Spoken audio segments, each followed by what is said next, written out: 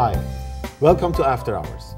I'm Ebby Mohseni, and your guest to take you to our special guest, Steve Anderson. From uh, he is a national coordinator of the Open Media.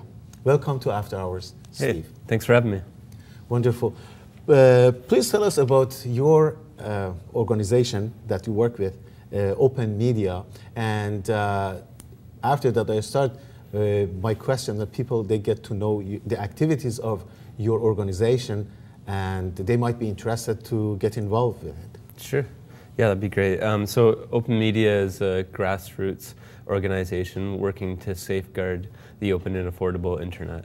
Um, and, and, so basically, we try and educate and engage Canadians in uh, internet issues and media issues uh, in general because there's, uh, there's threats in terms of uh, the internet becoming more expensive, um, in terms of uh, respecting our privacy, um, and also in terms of us having uh, access to everything that, that the internet and communications have to offer. Can I ask, can I just, I mean, my understanding is uh, there is two uh, way, I mean, two things in your organization that you said. One of them is to provide that, and the other one is the threat of expen being expensive and some other stuff. So probably you have projects for either one. Sure. So yeah. can we go to one first and after to another to find out what are your projects? Sure. So, so I, I think the the first one I'll talk about is um, in terms of privacy. Um, so, so, we have a campaign called Stop Online Spying, um, and people can find that on the web uh, at stopspying.ca.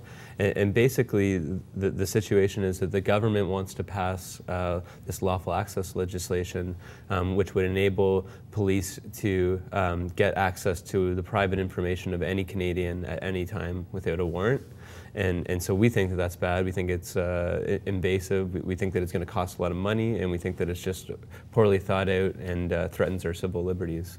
Um, and so what we're doing is trying to rally Canadians to contact their, their member of parliament and to sign a, a petition to say that we don't want this legislation. We want to have uh, respect for our, our, privacy, and we, and we definitely don't want to be paying for an invasion of our privacy. And so, so far, about 80,000 people have signed the, the Stop Online Spying petition. And uh, the government seems to be, um, th- they wanted to put it in this omnibus crime legislation, but they pulled it out at the last minute. And, and they seem to be dragging their feet a little bit now because Canadians have uh, spoken up so clearly. So we're hopeful that um, the government will back off permanently on this, but we'll have to see. I think people need to continue to be active on it. Uh, when uh, you contacted with the government, just the uh, government or the uh, Conservative Party, or all parties, or everyone else, politicians uh, about this? Yeah, so it's interesting. The the legislation was initially drafted by the Liberals, um, but now the Conservatives have taken it up. But in terms of right now, the both the NDP has come out really strong against this legislation. Um, MP uh, Charlie Angus has uh, wrote a letter to the minister um, asking him to, to pull back on on it and to respect our privacy. Um, the Liberals have now actually come out against it as well. Um, maybe not as strongly, but they have come out against it. Um, so, so it's really just, and the Green Party too, sorry, has also been really strongly um, uh, against this legislation, against online spying. And uh, it's really just the government is like the only, is the only party, um, and, and really I, I, think that they're increasingly isolated in their view that this is a, this is a good idea. You mean the conservative? That's right, yeah. So what was their response? Um, th- they say that it's just like uh, they, say that the pol- police should have access to our um, information without a warrant. They think that that's, that's a good idea and that they need that, which and so that's where we disagree. And uh, we hope that they'll, they'll, they'll see the light and uh, and make sure there's proper safeguards. Uh, are you hoping or you are taking action? Like we're definitely taking action. Like we, we um, we're regularly in the media about this. Um, we, we host public forums. To, like, we're continuing to educate people um, as much as we possibly can, and uh, we've been putting online educational videos mm-hmm. out. Uh, we've been hosting video screenings of a documentary that was uh, that was produced on this subject, and uh, so we, we continue to reach as many people as we possibly can, um, so, so we can stop this. Okay, but uh, beside the uh, action you are taking, uh, the hope that you have it very uh, uh, understandable. Uh, if it doesn't happen, what's going to happen? If they do put the legislation in, yep. yeah. Um, well, that I mean, we'll just have to raise our voices as loud as we can if that happens. Um, but if they do pass it, then that means that um, the, the police on a whim can get access to our personal information without any court oversight. So that's a feature that I hope doesn't become a reality because it's uh, really dangerous. We've seen um, in the UK and in the US, but especially the UK, when they've had this type of legislation, that the police have abused that power. Um, a lot of uh, your viewers might have heard about the Murdoch scandal, um, where there was uh, journalists you know, getting access to people's private information, and and the police were involved in that in some cases. So it's, um, you know, it's a, a, scary reality, but hopefully that, that doesn't happen. Besides the Europe, the UK you mentioned, uh, is there any other countries they have that kind of access? Can you name and uh, did you uh, research any kind of, uh, I mean, to the dark side, the really the right. reality, what is going to happen. Yeah, so yeah. what is that? Did you research on that? Yeah, yeah. So I, I bring up the UK and, and, and the US because they're somewhat similar to Canada in their in their makeup, and and certainly. Um, I mentioned some of the things in the UK, and then in the US, uh, they use this warrantless access to spy on peace groups, to spy on uh, you know different marginalized groups and and, and, and different uh, different people who make up uh, you know different groups in society, um, and so they just kind of collected that information just in case, um, and they you know they, they targeted uh, ethnic minorities and, and activist groups. Yes. And, and then so, so that's so those countries are somewhat similar to ours, but really where this uh, technology has been used most is actually Iran, China, uh, you know, the, the, those, those, those types of countries. And, and the, the companies that make this really tested it out there, and, and some of them are Canadian companies. Um, you know, they, they, they let China, you know, for example, spy on their citizens. They, they, you know, they let them block websites and censor the internet. And now they're, they're lobbying our government to have that technology in, on the internet in Canada. And so and so those are the those are the countries that we're modeling after if, if we put this in place and, and you know the, the human rights violations that have happened in those countries are really facilitated by the kind of online spying that the governments are able to do. Uh, the, your research uh, your research in China uh, what shows uh, in terms of human rights violation uh, by allowing the government to go that far? And I mean, what is the end? I mean, what when you, we look at the far end, what they did? Did you have uh, do you do you have the, those research? Uh, uh in terms of w- what they've done with the information? Yes, yes. I mean, the information, uh, how what they did. So they got the information and what they did with the citizens. Oh, uh, yeah, in China. The, yeah, in China, I, I mean, the, the, human rights violations there, there's just a huge uh, laundry list, but we're talking about um, torturing, uh, in, indefinite uh, detention, uh, imprisoning w- without due process. Um, it, you, you, know, pretty much anything you can name uh, that, that, they've done in China, and, and this technology and this online spying has really facilitated that.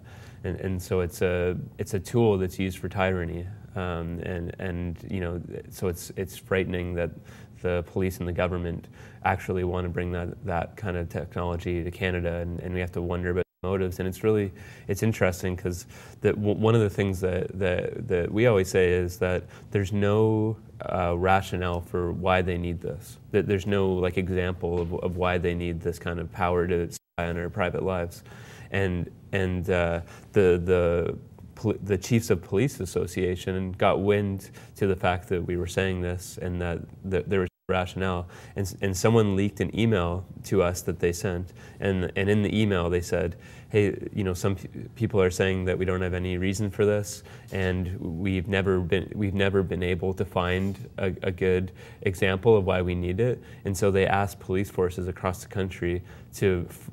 Find examples of when they would need this. So basically, what they're saying is, we don't have any reason for this, so find one for us. So it's a solution in search of a problem. And, and, and so it's really telling that they don't have any examples of why they need this. They just want the power, is, is what seems to be the case. And, and I guess you know, giving them the benefit of the doubt, it, will make their jobs easier. But is it worth you know, the, the, the danger of giving them that kind of uh, unrestricted power? I have another question. Did you have any research on Iran and who made that happen for Iranian government? Um, I, I, I, think it's covered a little bit in a recent report um, put out by the BCCLA. Um, but uh, I, I, don't have detailed re- research on, on which companies um, and, and, and uh, put that in place in Iran, but I know that it's the technology is really Yes. It's the same kind of technology we're talking about. It was Nokia did it. Okay. And the people of the Iran, they uh, boycott Nokia, and it was very huge on Nokia company. Mm-hmm. And if I'm not mistaken, they got to the point to apology for that. Okay. But people lost their trust on Nokia because of this. That they helped Iranian government to uh, track down the activists, and the pay was arrest, torture, rape, and killing. So let's go back uh, to uh, this. This is a part of that.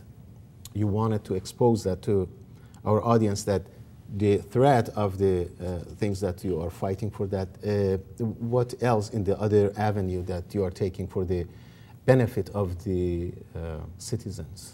Sure. So, so I mean, the, the other thing that we work on is is um, ensuring that the internet is open and affordable. Um, and so, so, basically, there's a, there's a few companies that um, dominate the access to the internet in Canada, and and you know they're responsible for for bringing the internet into our homes and workplaces.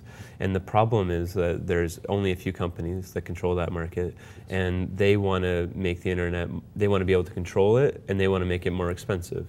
And there's a bunch of reasons for that. Um, one is that these companies also control uh, content, and they want us to look at their content. They also sell us TV. They also sell us uh, cell phone service. Um, so, so, so, they're all over the place, and they want us to pay for all of those different things. And the internet is a, is a threat to that. So what they do is try and make that more expensive, and they also try to increasingly control the, the market. And so one of the things that we do is is try to get it so that the market is open and, and not controlled, and, and, and so that there's a diversity and decentralized access, and, and, and prevent them from raising prices. Uh, yeah, yeah get, they get to the, I mean, some of these companies, they get to the point, they hire uh, lawyers to make protected contract and I, I was involved one of those. And uh, even if you don't get the signal, you have to pay. Yeah. If you, if you say, I'm not receiving signal, and you sign the contract, oh, we send you a technician to fix it. But they send a technician, and technician said, it's impossible to get the signal to your home. And but you have to pay for that because you signed the contract. The company does not let you to break the contract. You have to pay for three years. Mm-hmm. Yeah. What do you call that? This is